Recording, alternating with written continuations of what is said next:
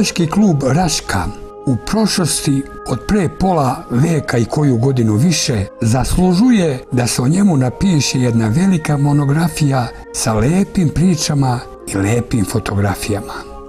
Pa dok se to ne dogodi, danas treba reći da bi na korici te velike knjige sigurno bila fotografija skijaša sa zaleđenom kosom, a na oznojnoj majici državni grb. Fotografija je sačuvana, a skijaša odavno nema. Ovo je ta slika. To je prvi reprezentativac iz naših krajeva. To je Momir Trifunović. Odavno je na nebu, ali umrli žive sve dok ih se ljudi sjećaju.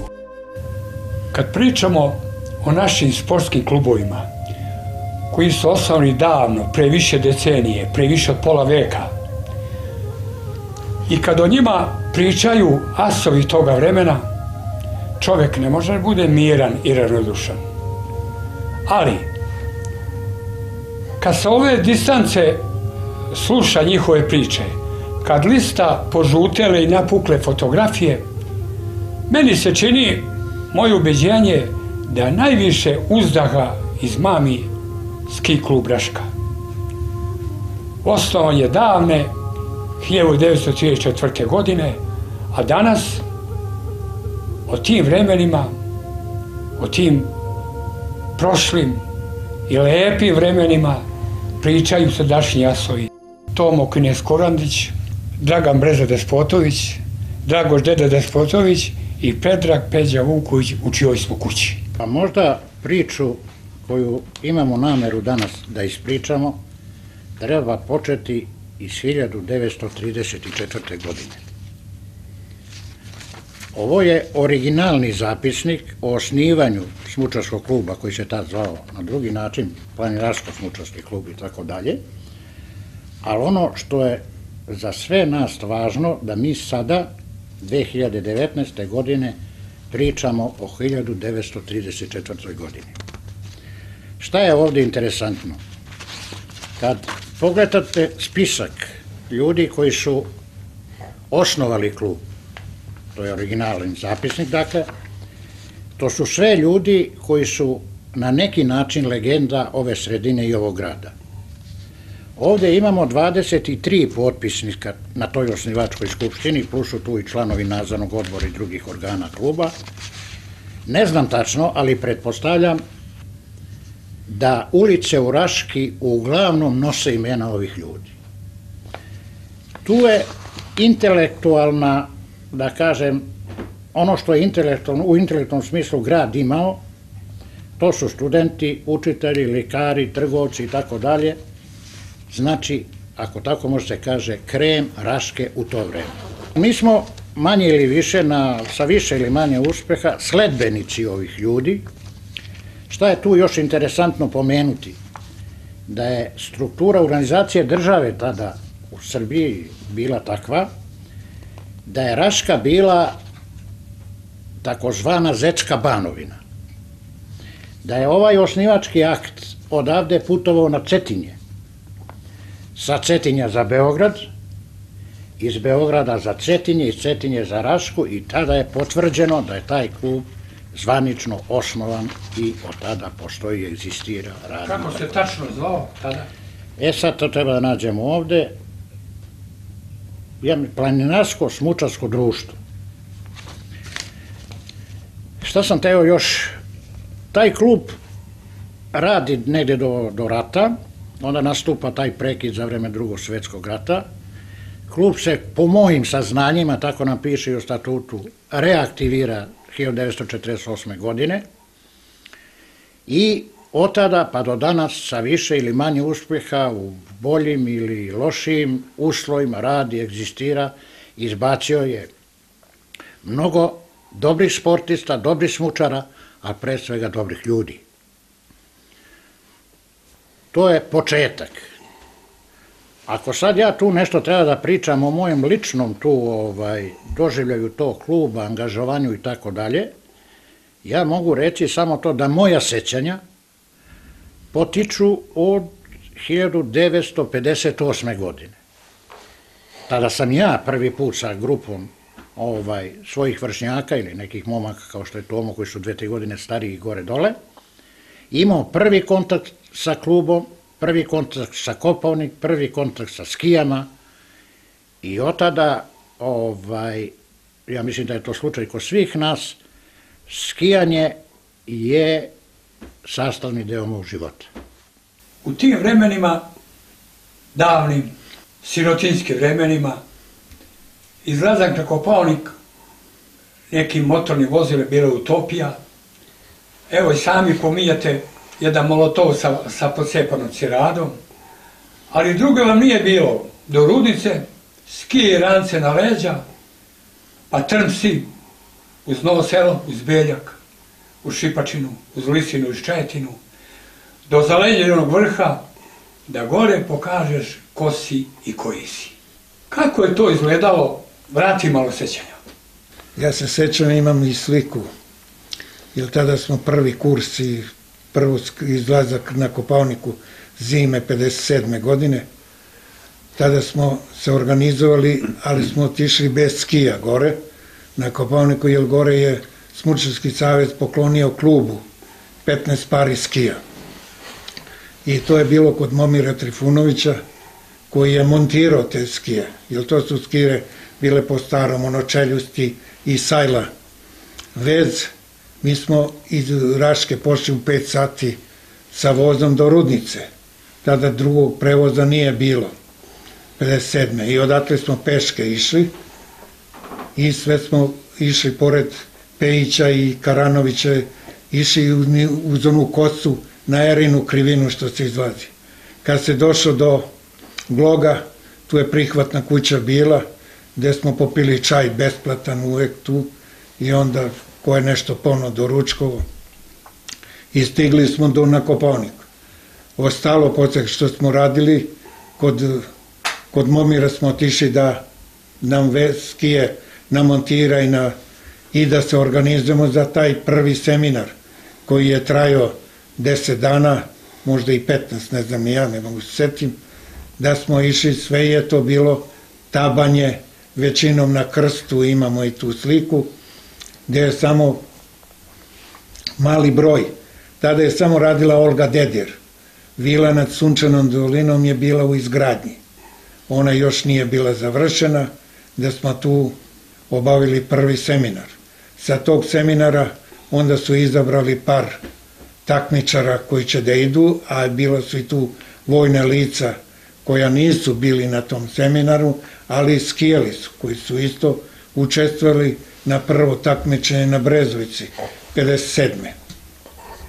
I na Brezovici kad smo krenuli, to isto vozom smo morali da idemo ovaj, do Kačanika, a od ove grupe, ja sam zaboravio da kažem, je izabran sam ja, od 15 njih, Nikola Trifunović i Ljubče Krasović, kao mlađe kategorije.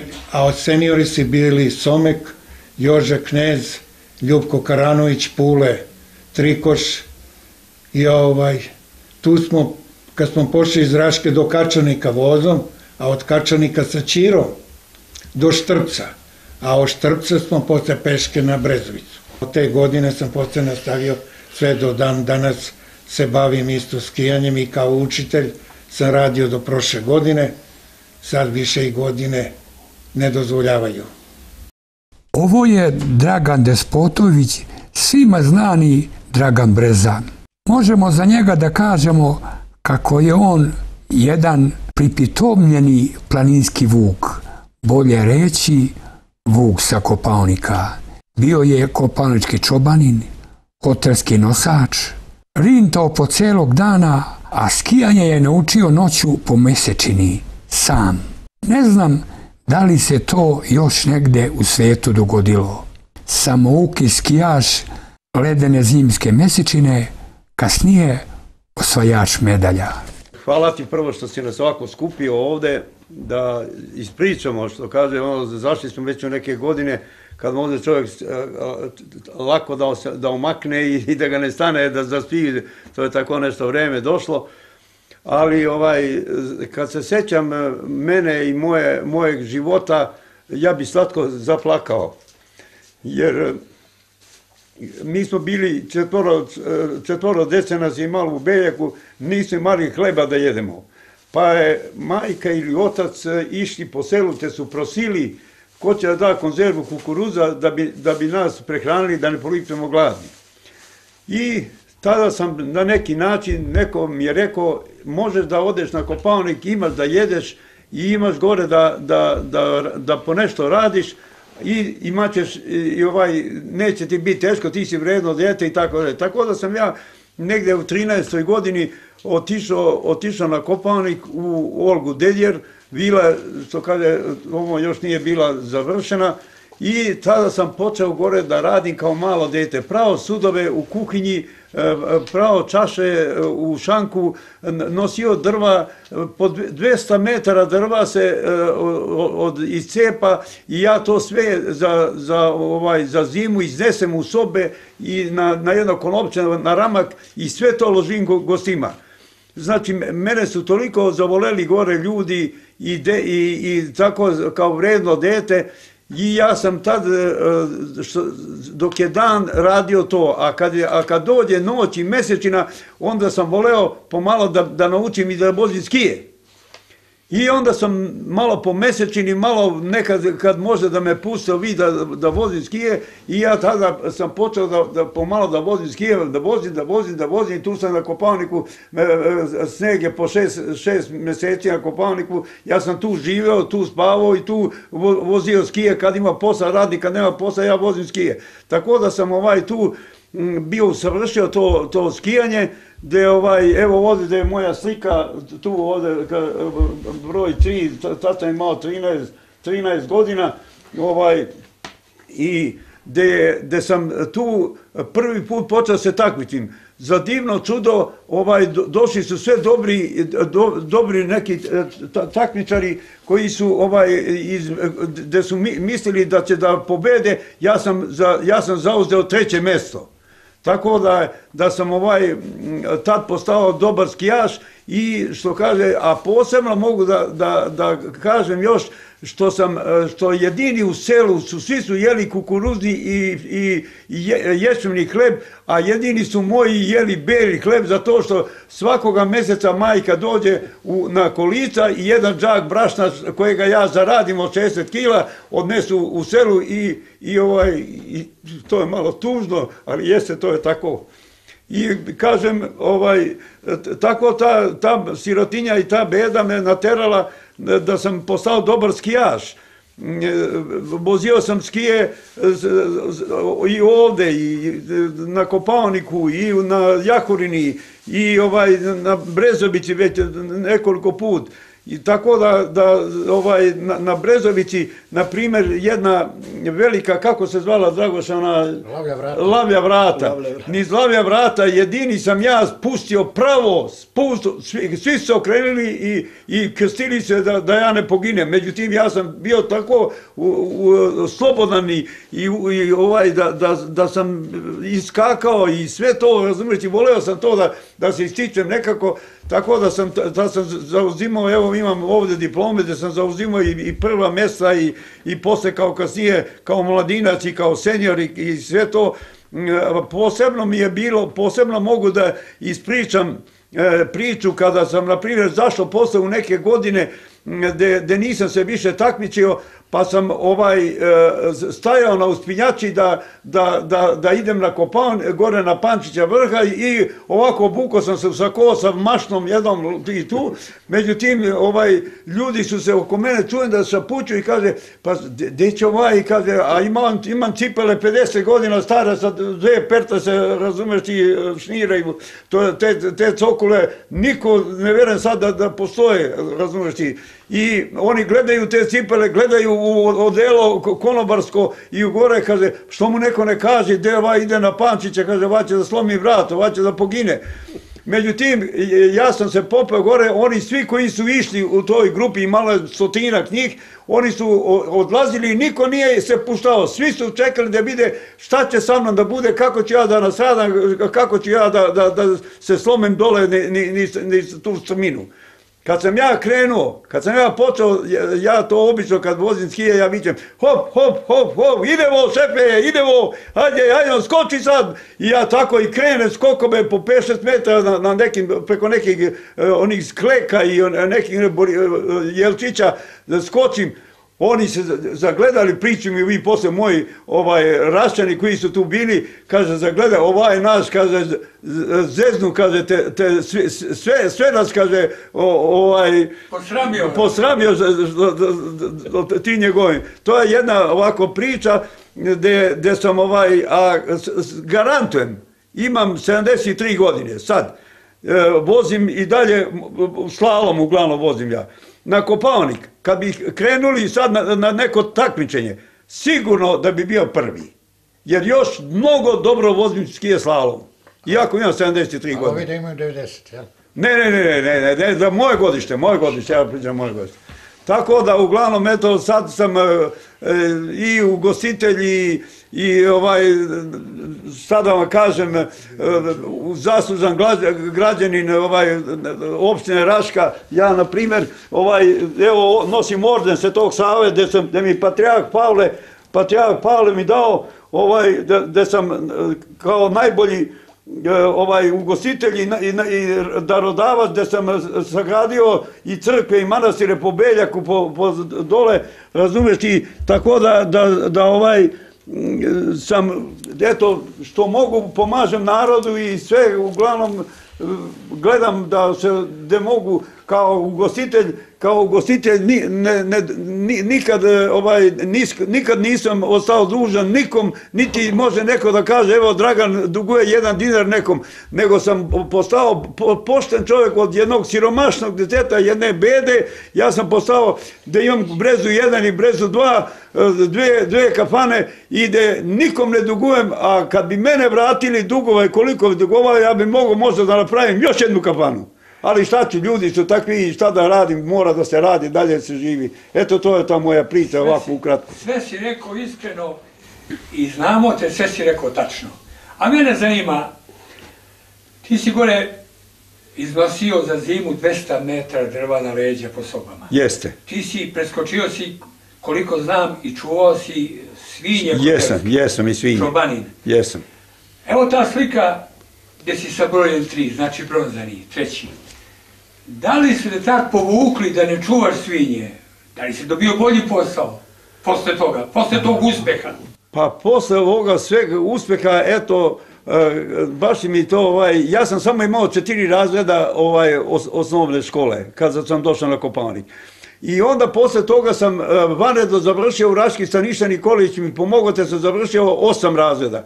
Posle toga sam završio srednju školu u Bunjevskoj banji ugostiteljsku. Posle toga sam završio ugostiteljski fakultet u, u Beogradu, tako da sam 20 godina bio profesor u Raški, predavao učenicima u ugostiteljstvu i, i 20 generacija sam izveo kao, kao ovaj, e, te učenike koji su mnogo dobri e, bili učenici i dobri majstori i radnici. Na primjer, kad sam e, bio na Jahorini, e, gde mi je ova slika tamo velika, gde sam ovaj, vozio sa Franz Klamerom i Ingemar Semarkom ovaj, tamo i e, gde sam ovaj, bila nas 130 takmičara. Od njih, nas 130 takmičara, e, ja sam gledao dole u početku gde, je taj e, opasan skok i taj skok gde, je- je bio, o, gde, se skakalo i preko 20 metara i nešto u terenski skokovi u spustu. Mm, ovaj, tu su uglavnom svi padali, svi padali, iz- čamci su nosili, vozili i tako dalje. Međutim, ja sam vidio gdje oni svi padaju i krenem ja od ozgo, među posljednjima sam bio uglavnom. Krenem ja ozgo da, da, da vozim skije među posljednjim i ja tu pre tog skoka velikim naporom sa nekoliko krstijanja usporim brzinu spusta sa 100 km koliko je išlo to, usporim je e, na jedno 30-40 e, ovaj, metara u, u minutu, e, ja to tu usporim i skok napravim jedan od 5-6 metara. I stignem na cilj, poslednji, ali 28. jedini pr, e, plasiran Jugosloven što postoji, to je bio Dragan po, najbolji u Jugoslaviji, ali 28. koji je stigao do, dole i znate, niko živ nije, nije, stigao, toliko je bio taj, taj skok opasan. E, to mi je jedan doživlje onako kojega mogu da, da ispričam i da ovaj, i, eto, ostalo mi to u sećanju, pored svega toga što, što imam da pričam. Da držiš tu tebi dragu sliku. Jeste, dragu sliku. Da se sada pojaviš u onih 13 godina, a tamo 200 metra drva, a tamo puštene svinje, kako bi postupio? Da li bi ponovo skio po mosečni, da li bi ponovo rintao ili bi izmislio nešto drugo?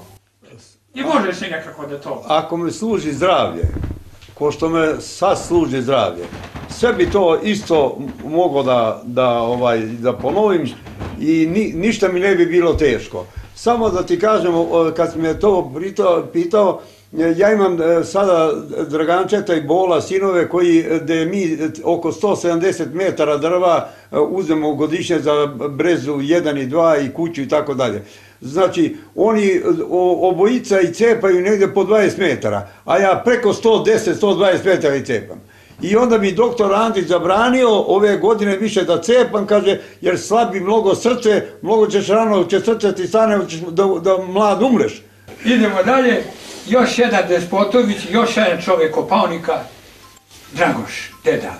Kad sam te neke 57. došao u klub, ja sam zatekao i to treba pomenuti, to je u stvari organizator bio Staniša Nikolić, nastavnik, koji je poveo nas decu. Ovo pa je u tom, kad sam ja došao na Kopavnik, ja sam e, zatekao Pula, Ljubka Karanovića, Moša Trifunovića, Pula Trikoša, onda tu je Štrbenk Nikola, onda ovaj e, Trifunović Nikola, je tako beše? Dragica. I Dragica, Milena Mazić, da.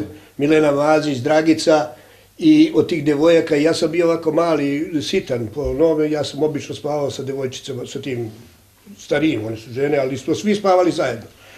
Naš je ono, na kopavaniku u Olgi Dedir obično smo spavali, tamo je bila jedna furuna dole, ona na pelet, na, nije na pelet, nego pilotina, dole i tu smo oko nje sedeli i tu obično smo jeli makaronu sa sirom, to nam je bilo najlepša hrana. I mi mlađi, mi klinci, odemo na spavanje i legnemo gore na onaj palače, to zajedničko bilo. Ovi ostanu staniša, ne znam, Ljubko i ovi stariji, kaj ja znam, Nikola. I oni nemaju gde da mi kako oni legnu po, na, po nogama, mi samo zgrčimo noge i oni tu ostanu će spavaju. I ovako bili smo, taj neka ekipa, nismo mi bili za pocijenjivanje, smo bili, bili najjači u Srbiji kao klub. Kao klub mi smo bili najjači u Srbiji, pa evo jedan, jednu priču, ovako malo da ispričam ono što je se dešavalo kad je proglašenje tih pobednika i kako je to bilo. E, mi smo, primjer, osvojimo u trčanju prvo mjesto, osvojimo u alpskim disciplinama, ostaje, ostaje nam još samo skokovi. I malo uveče se mi malo ponapijemo, ovako malo ne mi, nego vi malo stariji, i u sutra hoće da svi skaču. Kako svi da skaču? Zna se, Jože skakao, skakao, Mošo Trifunović, Labu Drosić, izvinjavam se, njega nisam pomenuo, Labu Drosić je isto bio gore i ovaj Moša i ono svi hoće Ljubko da skače. I Ljubko dobije od Moša uzme ala, alanke, alanke, kako se zove? Elanke, one skije, nije elanke. Hamanke. Ne. Hamanke. E, i sa Langrimer vezuje što je tvrsto se veže za, za cipelu. I on s njima hoće da skače. I skoči to i po, popadne po, i polomi skije i sve otišlo u Božbe. Sutra dan mi pro, proglašenje pobednika u, u putniku je bilo gore negde, ono, negde la, radio je Aleksa Konobar. Jeste, Aleksa Konobar. I pošto je Mošo bio nama kapiten, on se poprio na ono na prevozorno ono, postolje na prvo mjesto i kad je dodelimo u pehar, on digao pehar ovako gore. A prvi put se ta trenerke pojavili, ne znam ja, prilazi niko, ovaj Aleksa Konobar i slači mu trenerku. Slači mu trenerku. On drži ovo, a neće pusti pehar, valjda bio li napunjen malo sa vinom i tako da. I to. I sad je, deli se uveče, ovo, posle toga proglašenja, deli se večera. Iznosi Aleksa iz šanka onu drvenu, onaj tablo veliki. Jeste. Super, sipane u tanjir. Prilazi ovaj momir i otkopčava mu šlici pantalone. Ovaj viče, vrati, vrati, i onako, znaš. I to je tako bilo, tako neki, i to. Pa onda Slavko Kerovac, Da. Prva, prva, prve te radiostanice bile. I sad dolazi na kopavaniku bili, imalo ono soba tamo gdje je spavalo konobar Aleksa, gdje je spavalo. I on uključi jednu radiostanicu i stavi Aleksi pod krevet. A jednu kod sebe. I kad je došao Aleksa posle 12, ono kad završava to, došao Aleksa da spava, on uradi. Aleksa, pa zar ti tako bančiš i ono, a otac ti umire u selu? Kako te nije sramota, znaš, ono, do... Ovaj gleda, gdje je ustaje iz kreveta, gleda na prozor, gleda, ono, nigde ništa nema. Ne, on opet legne malo, ovaj opet. Aleksa, nećeš ti, ne znam, sve ono kako pričao Slavko, dugo i ovamo namo, ovaj se digne i u šanku i noć, mi svi ustajemo ujutro, on u šanku još sedi. Nije smeo više da dolazi u sobu da spavite. I tako su te neke. Slavko je bio legenda. Što se tiče, sve je vezano za Slavka Keraca. Yes. Sve. Yes. To je klub bio, disali smo jednim, svi smo i trčali, i skakali, i vozili, sve bilo. Mali smo i posle našu spekonicu 13 metara. Jeste. Ispod, ispod sunčane doline. Do, Et, ispod eto, to, to je tako nešto, ono, i uvijek mi je to lepo, neko sećanje na te ljude koji su to stvarno izneli, taj klub i posle toga sve su ovi momci oko mene, svi smo na neki način posle produžili da to bude taj klub da ostane i dan, ja i dan danas ne znam sad baš koliko je to, ali do 2008. dok sam ja to pratio, to je bio klub onako baš za respekt. Možda jedan klub ispred nas, Čukarički, malo posle kasnije, a inače mi smo uvijek bili prvaci što se tiče ono, naši ljudi kao Draganče, kao bili su reprezentativci, bili u ovaj vladu, Dakle, ja srđan, svi su znam bili. iz razgovora sa tobom, mi smo komšije i prijatelji, ovaj, nekako nisi imao standard za prenoćište. Prvo u žensku sobu kao klinac, a na Brezovići kako ono veše? Pa evo vidiš, mi na Brezovicu one prve godine kad smo se... Uvijek je bio bezopasan za žene. O, pa ja i to je danas to tako. Bio mlad. Da, Nije, ovaj, nije, nije. ovaj, kad ovaj, na Brezovici, evo, mi smo dolazili dan, iz Štrpca nas je nosio neki vojkan sa konjima. Ali majkom, on natovari naše stvari na konje, a mi idemo peške, a on uvek ostavi jednog za njega i jaše. I peva, e, lako je vama šumadincima da budete Srbi u Šumadi, budite, kaže, ovde, tako je, on još tad govorio Vojči. I odemo gore, nema valjda ili ove druge ekipe, tad je počeo taj kameni dom da se bio je pod pločom, nije ni bio... Stojkova kuća. Završen Stojkova kuća, radio Čukić, Slavko i ovi funkcioneri. Mi smo otišli, ima, e, sad je napravljeno dom, ja mislim da to imaš neku sliku, napravljen je neki brvnara ili kako se zvao taj posle. A tamo je bila štala, tamo su bile krave, a gore na, podignuto malo iznad krava, bile su ono palače i mi tu spavamo. A grejanje je od krava, nema drugog grejanja. Umivanje nema i pranje nogu, samo sneg. Uveče noge istrčimo po snegu, ujutro se umijemo sa snegom. E, a, a samo u toj e, kamenom domu je bila, tu smo čaj pili, ono, mrolada bila, nije malo hrane, neke, ono, i pešice posle sve da gore na tepsiju, gore na lavlja vrata, na pilibreg izlazili i takmičili se. I ovako, eto, tako, imalo je slučaje ovo za rudnicu, ja znam kad smo stali zavejani, pa ne može da siđe, pa smo sve sa skijama dolazili za rudnicu. Nema ništa. Kopaonika do Sa rudnice. Kopaonika, da. Skijama. I mali Dejan, ovaj, bio je gore mali klinac, uvatio mi njegov granac i na leđa i snesemo ga do dole. On zviri u glava i tako smo. Mislim, ali je, bi, ali je bilo lepo. Sve je to prošlo Čekaj, malo lepo. go ranac, pa na skije i do rudnice. Jeste, jeste. Na leđa ranac i... To je tačno. Zanimljivo da se ovo čuje, to niko nije znao od mlađih. Jeste, Kao tačno. kengura malo. Tomo, duga je tvoja priča skijaška. I kao takmičara, i kao instruktora, kao učitelja skijanja. Ti si čak bio na spisku za jedne olimpijske igre kao sportski radnik. Ajmo malo o svemu, o svemu pomalo. Pa slušaj, ja, i malo bi se knjiga piše o tome. Od početka do, još nije kraj, ja povremeno izlazim gore na Kopovniku. Nego što sad uslovi ne dozvoljavaju financijski, mislim, nema više para kao učitelj da zaradiš da možeš da odeš. A ovo što si mi postavio pitanje, da, bilo je to, ali većina je pobedila, mislim, Beograd, oni su poslali sve na olimpijadu te sportske radnike, mislim, sudije i to sve, jer ja sam tada, to je bilo 84. godine, ja sam rođen 41. godište, to znači imao sam 40 i neku godinu, 43 godine. Ovaj, tamo sam bio, pravo da vam kažem, 8 dana sam bio i kad sam gledao tada je vozio križaj, ali je razočarao me u slalomu, jer je vozio kao, kao početnik. Onda su oni Amerikanci pobedili, Stilmer i Filmer, kako su se zvali. A ovo da pređemo na naše stvari, na naše skijanje, na naš kopalnik, gde sam ostavio ono što kažu od 56. sam izašao u leto, a 57. u zimu. Jer tu je par, jedno, dve, tri godine dokle nije došao taj Molotov i to posle Čeda Jelenkovića nije imao ko da vozi, pa ga vozio neki vojno lice sa, sa ovog radara gore. Pa nije znao ni da ubacuje toliko u brzine, ono krčalo je stalno putom, ali što, to je vožnja bila najdalje do Šipačina.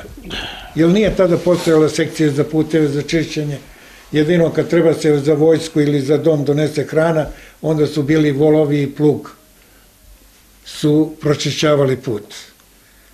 Ne znam ni ja samo dakle Koliko da počnem. godina si ti radio kao, kao ski učitelj? Kao ski učitelj. Potuko si sve rekorde, ja mislim. Pa ja sam bio odsutan od Kopavnik od 62. Otišao sam u vojsku do 64. Posle sam od tada 66.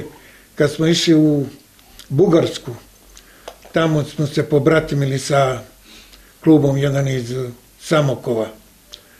Od tada sam postao kao, instru, kao trener kluba, Momir je bio za trkače i ovaj, od tada do 96. sam vodio klub kao trener. Nisam bio ja sam, bio je tu i Dragoš Despotović, jedno vreme dokle se nije zaposlio u Geneksu, a posle i bio je Micko Krasavić. Znači, mi smo imali da znaju kakvi su uslovi bili smeštaje i to sve.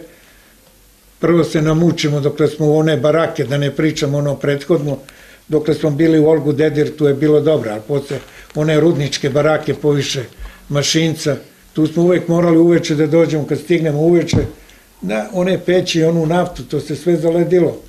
Znači, mi se smrznemo dokle to, ali se održavalo sve. A ovaj što vozi uz njegovu zaleđenu stazu ima 72 godine. Dobro ste čuli. 72 gura i 73. Pa pogledajte malo.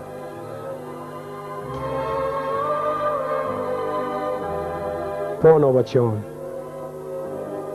Evo ga, bravo. Ovo je Momir Trifunović Seljo. On je nekada davno srcem junaka i fanatika u više nego teškoj smučarskoj disciplini, maratonu, stigao do republičke i državne reprezentacije. A počelo je slučajno. Davne 47. godine na Goliji se održavalo prvenstvo Srbije u smučarskom maratonu. Dečaka iz sela Beoca poveli su da bude smučarima vodič kroz obližnju planinu, a pred sam početak takmičenja on je zamolio organizatore da i sam startuje. Što da ne, kazali selektori, neko i onako mora biti zadnji. Ali Seljačić u crvenom pletenom džemperu, uz grlo, kako bi rekla njegova pokojna majka što ga isplela, od samog starta se hrabro uhvatio sa vodećom grupom i osvojio medalju. Bila je to svojevrstna senzacija, sve novine su to zabeležile i ta medalja hrabro mladiću definitivno određuje sudbinu, postao je planinski vuk i tri pune decenije jurio belim vrhovima od Kopaonika, Šare, Mavrova, Durmitora, Jahorine, Igmana, Pokljuke, Triglava, te austrijskih i čeških planina. Ako već uzimamo pravo da koristimo termin legenda, onda ćemo se lako složiti da je Mošo legenda. Svi mi ostali smo ispod toga i ne zaslužujemo tretman koji on zaslužuje. Zbog mlađih da naglasimo pokojni. U svakom slučaju. I ima još jedan čovjek ko bi, koga bi ja nazvao legenda, ali ne u ovom smučarskom smislu, takmičarskom, nego u organizaciju, to je Slavko Kerovac. Znači, ako ja koristim termin legenda, ja imam u vidu te dve ličnosti. Ovoga zbog toga, a ovoga zbog ovoga. Možda ja imam malo više, hajde da kažem uslovno prava da pričam o Mošu Trifunoviću, jer on je meni ujak Ali nezavisno od toga, ono što je on pružio i način na koji je obeležio sve ovo o čemu danas pričamo, zaslužuje svo poštovanje i prva asocijacija na klub, na Koponik, na nas ovde počinje praktično asocijacijom i razmišljanjem o njemu. Kad je on u pitanju, ja imam i neke, da kažem, ajde, porodične, privatne, lične ovaj, doživljaje, možda su oni na neki način interesantni za ovu priču, pa iz svega toga, evo da izvojim dve stvari. On je bio reprezentativac Srbije u tim nordijskim disciplinama, ali pored te njega, tu reprezentaciju je sačinjavao Nikola Štrbenk iz Novog Sada, Bane, koji se, koga se ja ne, prezi, ne sećam se prezima. Ivanović. Ivanović, ja? Yes. On je kasnije igrao rukomet u lokomotivi iz Lapova ili tako. I četvrti čovek je iz Beograda, znam da je bio biciklista, odnosno reprezentativac Srbije i u biciklizmu i u trčanju. E sa sticajem okolnosti. Ja mislim tomu da je to bilo 58 Mavrovo. Vozovi, putovanje do Kačanika, do Skoplja, do Makedonije, to je bilo terapija i trajala danima. Sticajem okolnosti, u ovoj kući ovde, koja tad nije izgledala ovako, nego imala dve sobe, se nađe reprezentacija Srbije koja pošla na, za Mavrovo i sačinjavaju ova četiri čoveka. Čeka se voz koji će negdje 11-12 sati da krene prema Makedoniji. I ja kao klinac koji u njima gleda i dole i pokušava da uhvati svaku priču, svaki razgovor o maži, o skijama, ovo ćemo, ono ćemo. Ali tu se pojavlja jedan, onako kažem, usputni problem. Ti ljudi treba da jedu. Vi svi se mi sećao Moša, njemu je predjelo moglo da bude pola jagnjeta. Ovi ništa nisu slabiji u tom pogledu. I sad vidim problem oca i majke kako da ih nahranimo, taj voz neće još 3-4 sata. I dobro, to se prevazišlo, šta ja znam, pošto otac se radi u prodavnici mesa, otvorio, donao, to se sprema, ludi drži. Sećam se, polaze tu s vrata, a Mošo se obraća majci i kaže, što nam ne dade nešto da jedemo. Tako su oni otišli, normalno u to vreme nije bilo televizije, radio je, čini mi se, objavio rezultate sa Mavrova, ali nisam u to siguran. I sad tu se pojavljuje ona legendarna slika Momira, onako zaleđenog, sa peharom, sa, jer on je pobedio na Mavru, a valjda su vremenski uslovi, vođeno je po magli. Zbog isparavanja tela ta magla se ledi. I gdje god imaš nešto na sebi, dlaku ovo, ono, to bude belo i u ledu. Prema tome, fotografija koju ćeš ti verovatno tamo pokazati, pored ovog, da kažem, sportskog dela, jer pokazuje napor jednog sportiste koji mora da uloži. Ona ima i umetničku vrednost jer je uhvaćena priroda.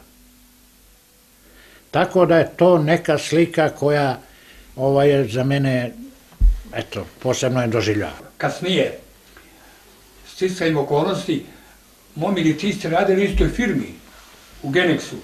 Zvali su ga Čiča, bio je omiljen. Seljak su. Bio je, bio je Vigora, kasnije Seljo kao takmičar. Bio je nekako rođen za vođu, za kapitena, se slažeš? Moše je bio, i svi smo ga, mi i prihvatili ga u, u firmi kao legendu. I on je vozio jedan tabač i radio je. Njegovo je opredeljenje bilo da sređuje ove staze trkačke dole u crvenim barama, kad je, kad imao republičko prvenstvo, pa je bio biatlon, međunarodno takmičenje, pa je bilo Slovenci nisu imali snega, pa su dolazili, te su uh, tr, ovaj, njihove trke tu dolazili.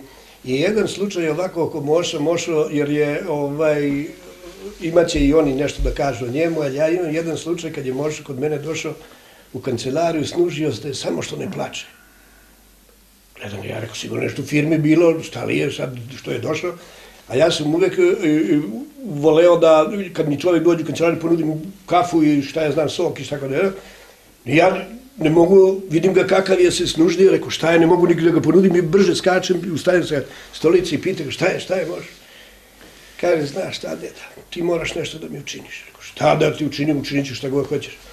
Kaže, ja moram da idem, a, međunarodni sudija na Zlatiboru bilo trčanje, međunarodno neko ja moram da idem na Zlatibor, mene neće Rajko da pusti. Rekao, kako neće ti pustiti? Rajko je otac. Rajko, otac, mošao.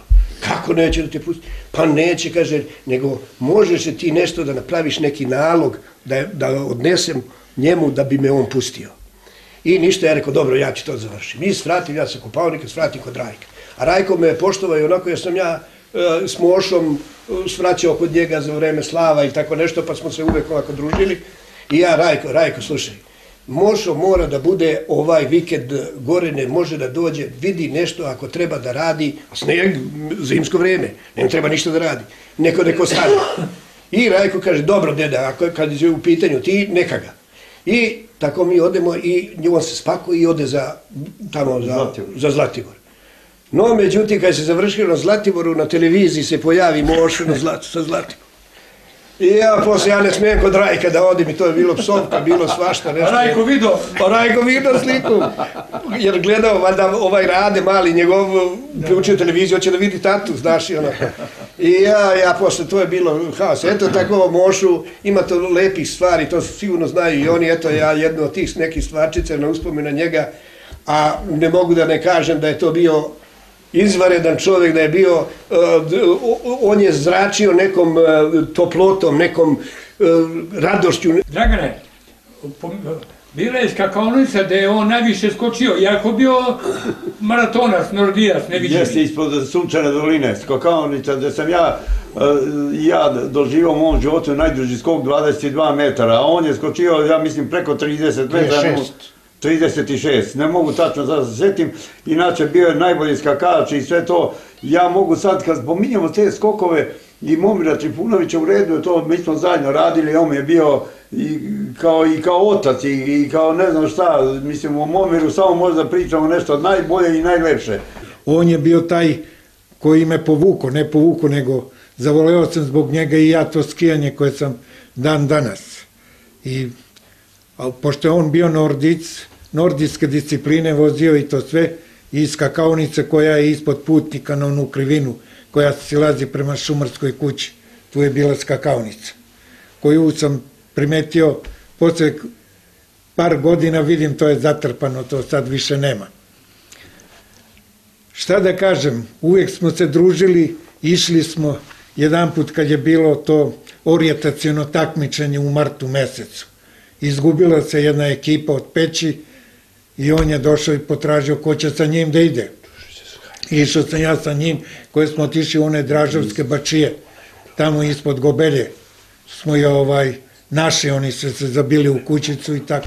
Naslov ispod slike Momir Trifunović, nezapaženi seljačić iz okoline Raške.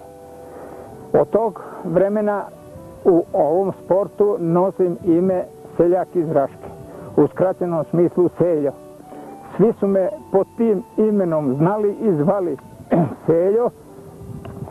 Naravno, zato što sam seljak i sa sela. I jedini sam bio ja kao seljak, zemljoradnik u toj dugogodišnji reprezentaciji Srbije i sedam puta u reprezentaciji Jugoslavije. Učestvao sam za tih 30 godina na svim mogućim takmičenjima, recimo po celoj Jugoslaviji gdje su se održavala u Srbiji, Koponik, Zlatibor, Makedonija, Šara, ovamo Brezovica, Mavrovo, onda Igman, u Bosni i Jahorina, Slovenija, ne znam gde nisam bio, Hrvatska, samo Delnice, Gorski Kotar i Mrkopa sve, ja znam sve to. Bio sam, ne znam tačno, ali sigurno jedno 15 godina prvak Srbije. Kakva sećanja, kakvi jasovi kakvi ljudi. Čobani, nosači, instruktori, učitelji, šampioni, danas su zajedno. Ja sam već predstavio. Šta reći o tim lepim i mučnim vremenima? Mučnim, ali lepim. Ovi momci u tim vremenima bili su, ako tako može se kaže, mučenici puni sreće. Ako tako može se kaže.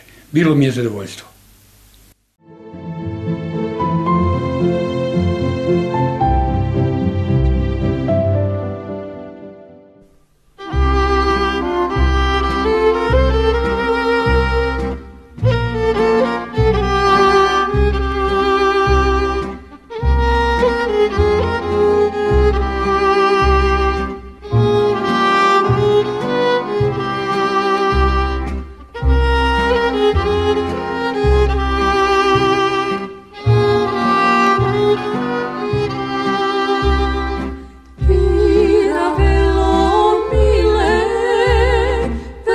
sono.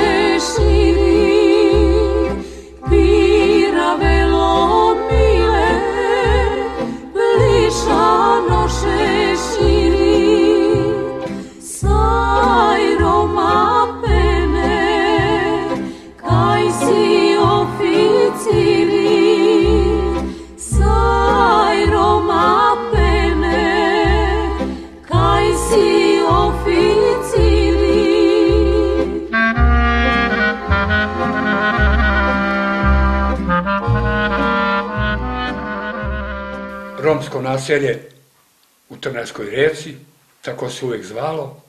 Mi smo u kući Milomira Jovanovića, ali zvano Ginga, svi ga znaju, pa ne znam da li ima nekog u Raški i okolini ko ne poznaje Ginga. Ovaj, mi smo u njegovoj kući, tu je njegova supruga Jasmina i pričamo o životu. Ne ljuti se, o životu ciganskom nekadašnjem. Da, da, da. Nekad su bili stari zanatlije, korpe, furune, šporeti, Yes. plehovi. To je otišlo u istoriju, ne postoji. Jeste. Živelo se teško. Teški. Gingo je jedan od dosta sinova Miloša Jovanovića, jer je imao više brakova. Bio je gazda Mahale. On je sa Pajom rođeni li tako? Jeste. iz Luga, ali on je shvatio da mora drugačije se radi, nego što je radio Miloš, koji je varao sa mišom i kartama. On trguje, Ringišpil registrao otpad, radi legalno i zvanično po zakonu i svoj život je sredio. Kuća, čista, sređena, zahvaljujući njegovoj supruzi, primio nas prijateljski i mi pričamo. Šta sam preskočio, a ja sam i dobro rekao sve. Pa, Boško, ti ništa nisi preskočio. Sve si lepo rekao. I tačno je to, to što ti pričaš. Ja malo ne pričam dobro, ja sam imao tri moždana udara. Dobro ti pričaš, neka se udari. Da. Pa vidi kako. Moj tata Miloš, otac, on ima nas 11 dece. 11 dece od tri žene. Međutim, nas je odgajao Milorad, njegov otac, moj deda, i baba Darinka, Dara. Da, da, znam ih dobro ih da. Dobro sam ih znao. Jeste. I taj jedan Milorad malo je pleo korpe, kazane kalaisao, furuniču kao što ti malo radio. I Imao tako- konja, čeze. Imao konja, tezu i sve to tako. I tako nas odrasao Milorad. A Miloš je bio veliki magup, kao što svi znaju. Bio ženskaroš veliki. Bio je. Igrao je tri karte, što ti kao što je tačno. Živo je malo na prevaru, jeste živeo. Ali inače imao dobru dušu imao. On nije hteo naše odavde račane da zavrne naše račane. On je znao po vozovima da ide, da baca one tri karte, a vi naši iz Raške, koji ga svi znaju, florisali kao da oni dobiju, da bi navukli drugoga. Svi ga tako znaju ovdje u Raškoj. I to je to sigurno je tako bilo. E, međutim, ja sam odrasao, oženio sam se, hvala Bogu, sa jednom ženom, ta žena prvo mi je umrla, sa ovom sad, hvala Bogu, lepo živim, lepo mi je, fino mi je, čista mi je, fino pedantna, pošto mi je žena, sve to, poštuje me, mene, moju decu, i radimo. Međutim, prijavio sam, vidio sam da od toga života ne može od prevare da se živi. Ne može. Ne može od prevara. Prevara je kratka. To svi čuju, svi znaju. Čovjek može i noga da prevari. Već druga trećega ne može. I ja sam to shvatio da ne može tako se živi. I ja sam otvorio bio otpad, legalizovao. I to sam radio da sam mogao da radim. Nisam mogao više da radim, železare nisu te da primaju, nisi ispoštovali dogovore. I tako to sam botalio. Pa sam otvorio regispir, registrovao i to isto. Radio sam dve, tri godine, par godina sa tim regispirom, nije bilo, bilo je za trošak za porodicu, da normalno da ih hranim, da ih čuvam, lepo, fino. Međutim, ja se razbolao. Imao sam tri moždana udara, pa sam odjavio to sve, tako da više to ne mogu da radim. Ne mogu da radim. A inače, moj Milorad je bio pošten čovjek isto. On je pleo korpe, kazane, kalisao ljudima i sve to lepo što su se slaža, slagali, ali eto ti sad u ovo vreme Nema ni taj život kao što je bio ni nekad. Sve se teže i teže živi. Eto, tu je moj komšija Jozo, evo ga, ovde do mene, došao na kafu da pijemo kaficu. A Gigo, da ja pitam tebe, Ajde, ode. Život u Mahali pre 40 godina Da, i život sada, da, oni ljudi i ovi ljudi, da. razlikuju se, imali sličnosti. Ima, ima i to dosta. Pre 40 godina to pamtim. Ja sam 61. godište, ja 47 godina imam. Pamtim, mnogo se lepo slagali ljudi. Bila je namaština. Ali mnogo lepo se slagali lu- ljudi. Mi nismo imali šta da jedemo. Moja pokojna baba, Darinka, Darinka, išla po selu da traži koru leba da jedemo. Mi smo bili sreći kad se vraćamo sa sela. To naši ljudi ovde, okolina, svi nas znaju ovde, sve nas sa sela. I uvijek su znali da smo mi posljednji ljudi. ona korpu na leđa i džak i guraj. Da. Stavlja džak na leđa i ide u selo, donese leba, onda je bilo ražen lep, crni leb, za vi nego sad. Malo se maže onaj mas, malo bibera na leba, daje to i ajde, idi igre se ceo dan. I opet su se lepo slagali, opet su bili zdravi nego sad. Ali eto, promenilo se vreme, Boško, šta da radimo? A koliko ja znam, Slobo i ti ste se slagali dobro, iako niste po majici braća, je tačno? I tačno je to, tačno je to. Ja i Slobo su se najbolje slagali u svih braća. Vi ste odrasli zajedno. Zajedno smo odrasli. Mi smo od oca, o, po ocu smo braća, Da, da, da. ali mi smo rasli zajedno. I jesmo. Slobo bio mnogo pošten i on. I njega da cela Da, raša. da, da. Jeste. A dobro, ovako sada pričamo. Da, U vreme današnje imaš porodicu, ženu si već pohvalio, mi znamo da je ona vredna. imam, hvala Bogu, E, imam. ovaj, imaš porodicu brojnu, Imam. svi su živi, zdravi, Jesu. da malo sredi zdravlje i ti Jesu. si srećan čovjek. Pa samo zdravlje, samo zdravlje. To mi je najbitnije sad u životu. Priča, pazi, ne žalim se ja, ali verite mi da nema više od čega se živi. Nema više od čega se živi. Da sam ja zdrav, kao nekad sam bio, ja se ne sikiram, jer nikad nisam tražio u životu, koliko ja znam, u zadnjih dve godine, tri, kako sam se razbolao, ničiju pomoć. Uvijek sam lepo radio, fino, dok donesi u kuću sve. Sve dok nisam se razbolao. E, be sad sam se razboleo, tražio sam neka pomoć da mi daju, dali mi jedno vreme, međutim, promenio se ki zakon, odbili mi sad pomoć, ne daju ništa. A Jeri, da ne zaboravim, kad se prođe putem ispod vaše mahale, Da, teče preljava voda. da, To nije od tvoje kuće, odakle to, šta je to? Nije. Ili od svih kuća?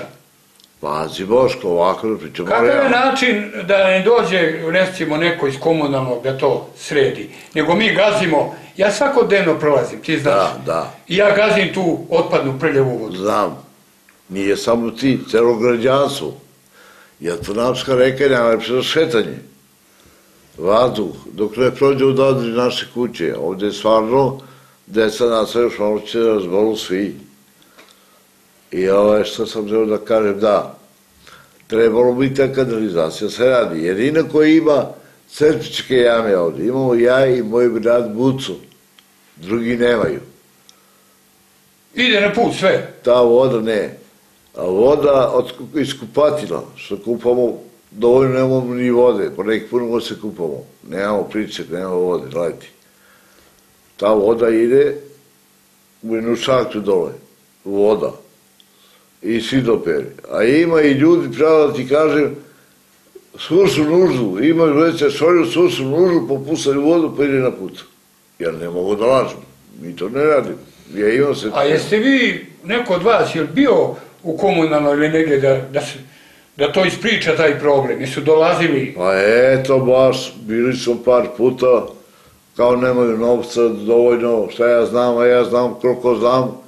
Pred par godina je prošao projekat. Prošao je bio projekat.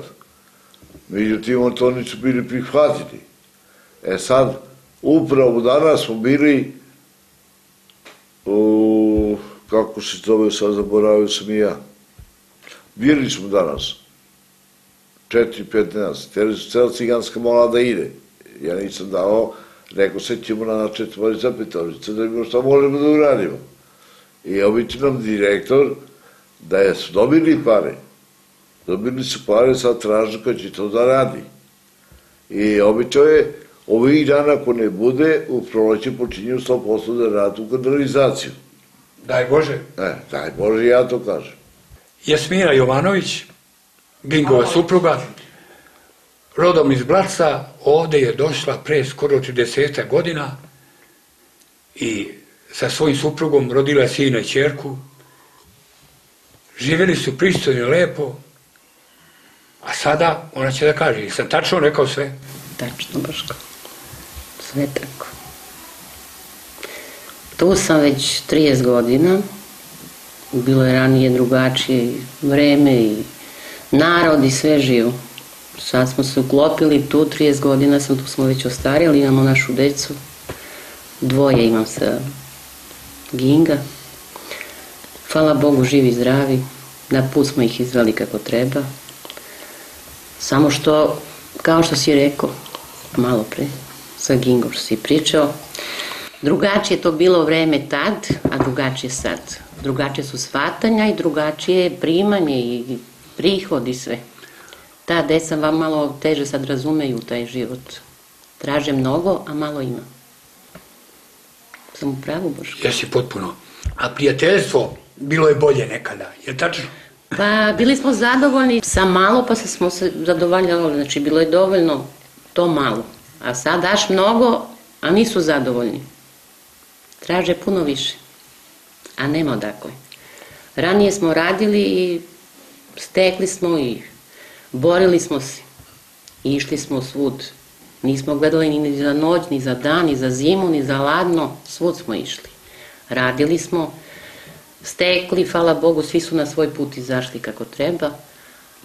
Jedino on što je propao i što bolesan i stvarno sa njim baš teško može. Jedva se kreće, jedva hoda. Ali šta ćemo, šta je tu je? Borit ćemo se i dalje. Jasmina, evo za kraj. Sve si fino ispričala. Znam ja, Blace, znam odakle si tako. I dugo te znam, kao i njega. On i ja smo prijatelji dugogodišnji. On je sad trenutno slabog zdravlja. Mora da ga čuvaš. Čuvam ga, Boga. Ko će da ga čuva, nego ja. Mora da čuvam i ja njega i on mene. Čuvamo se, Boško, pa teramo dalje. On mora se kreće malo više silaze dole, ovde malo nama uzbrdica gore kad se izlazi, a na put dole, kao što sam baš malo pre rekao, ta otpadna voda, ta kanalizacija dole izlazi. Imamo tu desu što idu u školu, što se vraćaju noću, nemamo ni ulično svetlo, tu bi trebalo neke bandere, dve, tri bandere da ima ulično svetlo. Deca se vraćaju noću iz škole, ne vidi se prst pred nos. A i ta kanalizacija baš nam stvara veliki problem. Sve što izlazi iz sudopere, iz gade, iz bilo čega, to sve na put dole.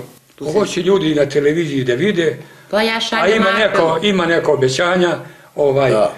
i mi se svi nadamo da će to kad prođe zima i to biti u redu. Samo da Gingo popravi zdravlje. Tako je, tako Pa je. da će Bog da vas zdravi, da bude dobar. Tako je. Pa i šećer mu nije dobar. Na insulin je. Pije punu kutiju lekova.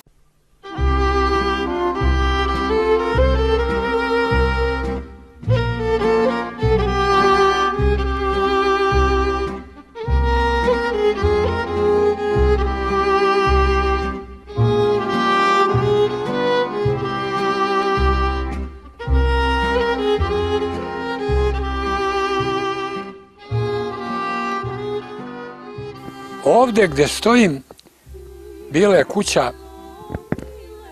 Rajka i Zore Bogdanović. porušena ne postoji više, tu su oni živjeli i oni su bili najomiljeniji romski par u gradu. Svi su Rajka znali kao i Zoru. Igrao rulet, svirao ritam gitaru, pevao pesme i šumadijske, sevdalinke i romske. Bio je zabavan, duhovit, vesel. Ali što pričamo priču o njemu? Rajko se ženio 18 puta. Zora ga je zaustavila. Kad je ona došla, bio je kraj avanturama, mada je prije nje bilo i lepših od nje. Ali ona ga je zaustavila. 18 puta, kakve su to ljubavi bile? Kakvi su to brakovi bili? To samo Bog može znati. Ali jedno sigurno, Batarale je spavao sa 18 žena. I svaka mu čas i alal vera.